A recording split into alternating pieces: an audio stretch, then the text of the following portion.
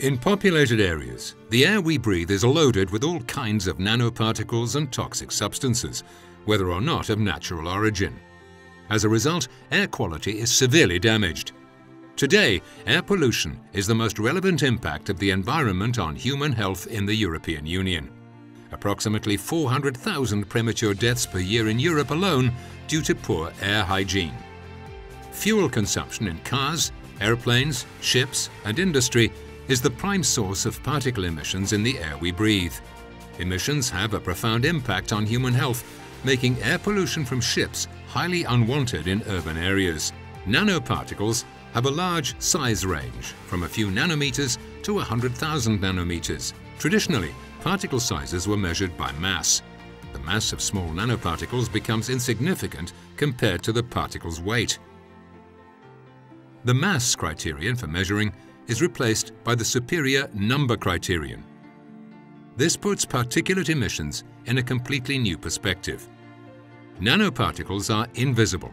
Think how they relate to a human hair, allergens, pollen, the flu virus, or bacteria. That's precisely the reason why nanoparticles, which are emitted by all types of engines and fuels, behave like Trojan horses once inhaled.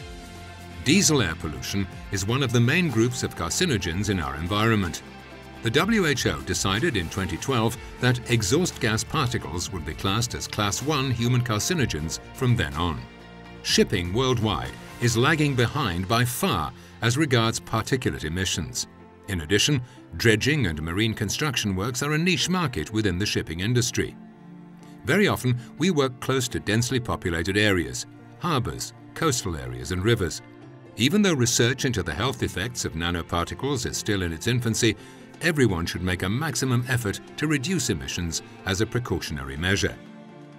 That's why we resolutely drew the Public Health and Clean Air Card and aimed at pollution prevention of exhaust gases and reduction of air pollution through detoxification.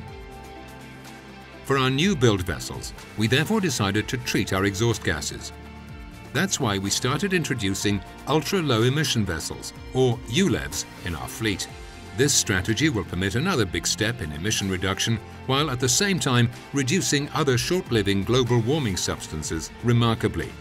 Under the current IMO regulations, atmospheric emissions of all pollutants remain unregulated except for sulfur and NOx. With our ULEVs, we meet the strictest EU Stage 5 standards.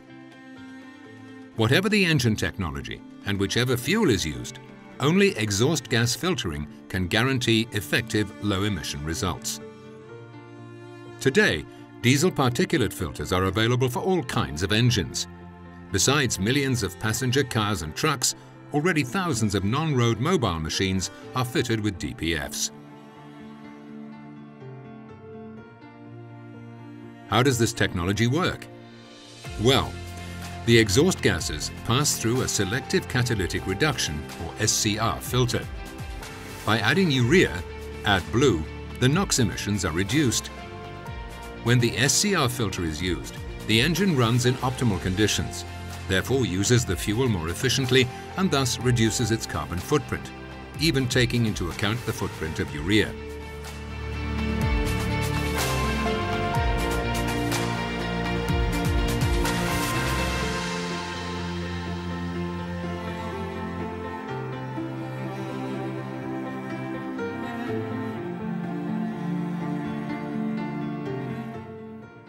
And because the blue sky is the limit, the treated exhaust gases also pass through a diesel particulate filter, or DPF. These are VERT certified and guarantee proper operation. The DPF enables us to remove 99% of all particles from the exhaust gases. At the same time, we also eliminate black carbon, a climate-forcing agent a thousand times stronger than CO2. In a DPF, exhaust gases are forced to flow through a porous filter wall in which even the smallest lung-penetrating and carcinogenic particles are captured. VERT-approved DPFs are efficient sinks for nanoparticles and toxic compounds. No engines should be operated without filters to protect the health of the crew and citizens. This means Jan De Nul Group does everything in order to disconnect its ecological footprint from its growth.